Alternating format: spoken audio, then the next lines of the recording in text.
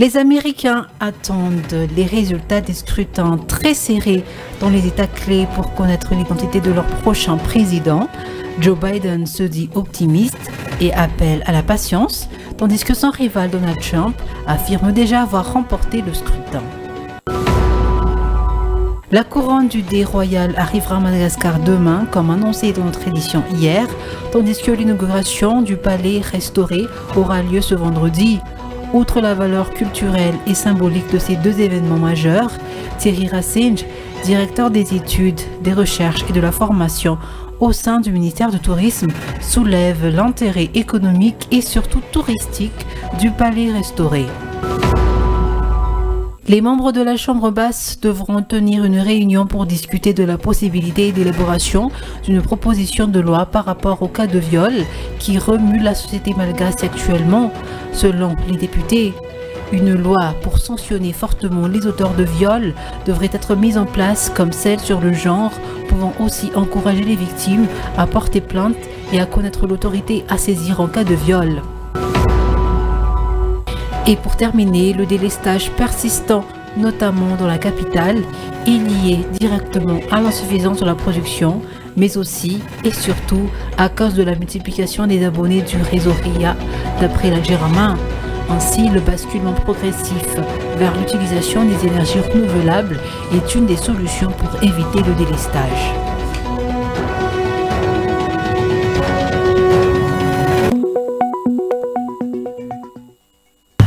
Bonsoir à toutes et à tous et merci de nous rejoindre dans ce journal en version française sur TV Plus Madagascar. Nous sommes ensemble pour une quinzaine de minutes d'information.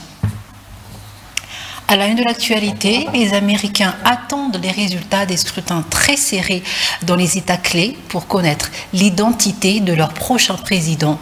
Joe Biden se dit optimiste et appelle à la patience tandis que son rival Donald Trump affirme déjà avoir remporté le scrutin.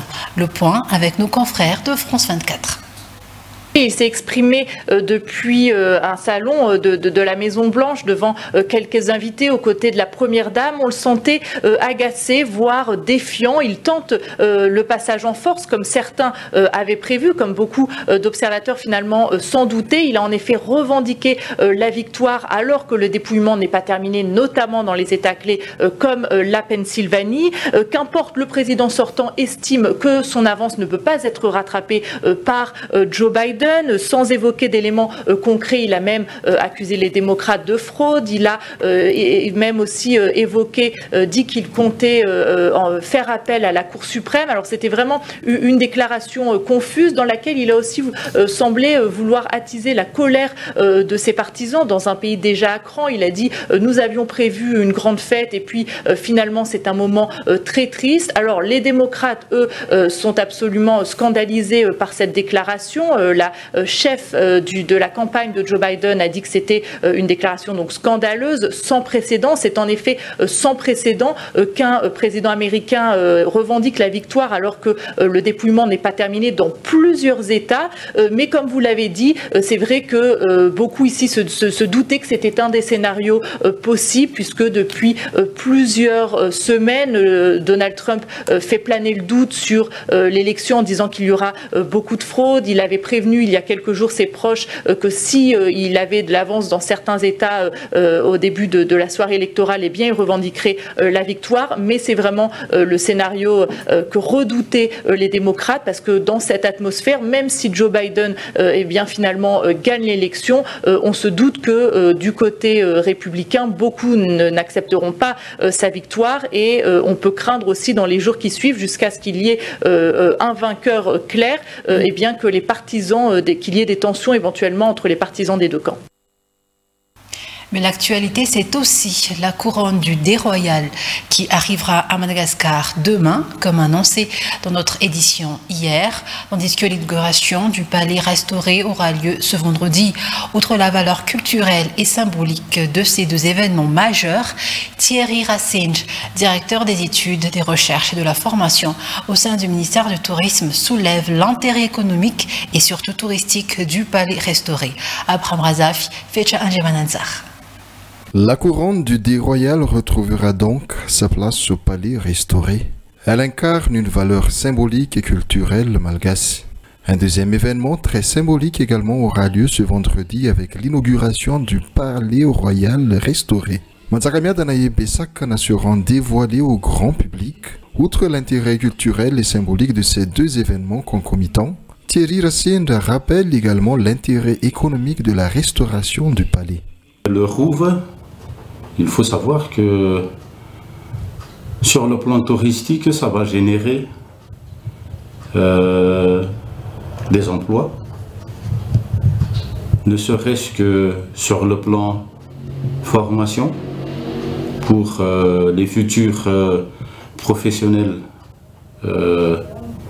qui vont exploiter le Rouve en tant que site touristique mais aussi euh, les guides qui vont euh, se relayer pour euh, faire connaître ce qu'il y a à l'intérieur comme à l'extérieur. Et pour terminer, j'appelle tout un chacun, notamment les opérateurs en matière de tourisme, à euh, considérer le, le Rouve, même si c'est un patrimoine culturel, comme un nouveau produit touristique. Rappelons que ce palais a été incendié le 6 novembre 1995, il a tout juste 25 ans. Et je vous disais en titre, les membres de la Chambre basse devront tenir une réunion pour discuter de la possibilité d'élaboration d'une proposition de loi par rapport au cas de viol qui remue la société malagasy actuellement. Selon les députés, une loi pour sanctionner fortement les auteurs de viol devrait être mise en place comme celle sur le genre, pouvant aussi encourager les victimes à porter plainte et à connaître l'autorité à saisir en cas de viol, selon les explications. À part ce cas de viol, le député élu Amboutachim d'ajouter qu'une quelconque loi sur les LGBT ne devrait aucunement être acceptée dans le pays. Narinjatin fait Les cas de viol, surtout sur les mineurs, ont remué la société ces derniers jours. Des mesures strictes devraient être prises par rapport à cette situation qui aboutit jusqu'au décès des victimes, selon la députée Lantre Elle a ajouté que les membres de la Chambre basse devront bientôt tenir une réunion pour discuter de la recrudescence du viol. La mise en place d'une loi qui pourra réprimander sévèrement les auteurs d'un viol est plus que nécessaire actuellement, selon ses explications. Ils devront donc établir une proposition de loi où les victimes sauront de quelle juridiction se saisir pour porter plainte ainsi que les aides adéquates. Comme c'était le cas de la loi qui régit la violence basée sur le genre et qui avait été adoptée l'année dernière selon toujours ses explications. Elle lance aussi un appel aux juges qui se chargent des affaires de viol à ce que les auteurs ne soient pas relâchés facilement et à ce qu'aucune négociation ni marchandage ne soit opérée auprès de ces juges qui devraient rester stricts selon ses explications. Le député élu à Mboujachim d'ajouter que si une loi régissant le viol est mise en place, les sanctions à l'encontre des auteurs de viol devront vraiment être exemplaires. À part ce cas de viol, le député élu Boudjachim a ajouté qu'une quelconque loi sur les LGBT n'a aucun lieu d'être à Madagascar. Le délestage persistant, notamment dans la capitale, est lié directement à l'insuffisance de la production, mais aussi et surtout à cause de la multiplication des abonnés du réseau RIA, d'après la Jirama. Ainsi, le basculement progressif vers l'utilisation des énergies renouvelables est une des solutions pour éviter le délestage. Ainsi, trois centrales solaires seront installées en Tanarive dont la puissance totale est de 11 MW. Elles seront opérationnelles d'ici 12 mois d'après toujours la Jirama. Une demi-heure allant jusqu'à plusieurs heures par jour, c'est la durée moyenne de la coupure de l'électricité touchant presque tous les quartiers de la capitale. Cette coupure peut même durer une demi-journée, dans certains cas surtout pendant les périodes d'étiage. En effet, l'insuffisance de la production par rapport à la demande actuelle est considérée par la Jirama comme étant la principale cause du délestage. De plus, le nombre d'abonnés ne cesse de s'accroître alors que les installations existantes n'ont été améliorées depuis des années. Plusieurs opérations ont déjà été menées, mais le délestage ne peut être entièrement résolu tant que la production n'augmentera, d'après Wunzen Jiamang, le directeur général de la Jirama. Ainsi, le basculement progressif vers l'utilisation des énergies renouvelables est une étape cruciale dans le redressement de la Jirama. Cela permettra également de résoudre le problème d'approvisionnement en énergie. Si la mise en place de centrales solaires est déjà une stratégie adoptée dans les régions, la capitale va pouvoir en bénéficier grâce au projet de la promotion de l'énergie renouvelable. Trois centrales solaires seront donc installées en Tananarive. Une société allemande est chargée de la fourniture d'énergie qui se fera par l'installation de trois parcs solaires dont la puissance totale est de 11 MW et opérationnelle dans 12 mois. Le projet se démarque par l'utilisation de la technologie rooftop, c'est-à-dire l'implantation des panneaux solaires sur les toits des bâtiments existants qui optimise par conséquent l'utilisation des surfaces déjà disponibles selon les précisions. Elles permettront de renforcer d'une part l'alimentation électrique dans la capitale et d'autre part celle du réseau interconnecté d'Antananarivo-Ria, d'après toujours les précisions.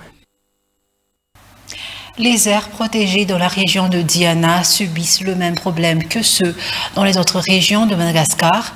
En effet, par manque de sources de revenus, les populations qui vivent aux alentours pillent la biodiversité, menaçant leur durabilité. Charbonnage, coupe illicite de bois de forêt figure parmi les infractions courantes. Le projet Kobabi a donc été mis en place pour créer des activités génératrices de revenus pour les populations habitant aux environs de neuf aires protégées dans la région de Diana. L'Agence française de développement finance le projet à hauteur de 7 millions d'euros. Arfitra Koutmanalna. 28 communes de la région de Diana sont bénéficiaires du projet Koubabi. Les infractions forestières pullulent à cause du manque de revenus des populations vivant aux alentours des aires protégées. Coupe illicite de bois pour du charbon, entre autres surexploitation et non-respect de la période de fermeture de la saison de pêche figurent parmi les innombrables infractions. En fait, la principale problématique euh, sont les euh, infractions au niveau des aires protégées. La première problématique, c'est l'insuffisance de revenus des populations euh, qui ont tendance à, exploiter les ressources sans tenir compte de la réglementation ni des pratiques durables. la deuxième problématique est la migration essentiellement du Grand Sud de Madagascar qui considère que la région d'Iana est une région où on peut euh, gagner facilement sa vie et euh, trouver facilement des activités génératrices de revenus. Et ça concerne essentiellement le charbonnage, les coupes illicites de, de bois, de forêt et euh, par rapport aux aires protégées marines, c'est des pêches, euh, une, surexploitation et un non-respect des périodes de fermeture de pêche. Le projet Koubab se marie avec la vision d'un développement durable prôné par le ministère. Renforcer la gouvernance des neuf aires protégées, restaurer la forêt naturelle et les paysages de mangroves dans la région de Diana, tels sont les objectifs du ministère de l'Environnement et du Développement durable dans ce projet. Euh, les objectifs de ce projet sont complexes mais euh, nécessaires si on veut avoir une vision du, durable du développement. C'est un projet donc qui renforce les capacités des gestionnaires en termes de gouvernance des aires protégées, mais qui promeut en même temps euh, le développement économique à travers la promotion de grandes filières de production agricole une filière euh, écotouristique euh, à base communautaire. L'hypothèse est que, euh, avec une amélioration des revenus des populations riveraines, nos aires protégées, on considère pouvoir réduire les pressions sur les aires protégées. Le comité de pilotage du projet s'est donc réuni ce jour pour évaluer l'impact du projet et aligner ainsi les objectifs avec les actions sur terrain. Une enveloppe de plus de 7 millions d'euros est dédiée à la concrétisation du projet Kubabi. Et voilà, nos minutes d'information se sont écoulées. Merci à vous de les avoir suivis. Très bon suite de programme sur TV Madagascar. Au revoir.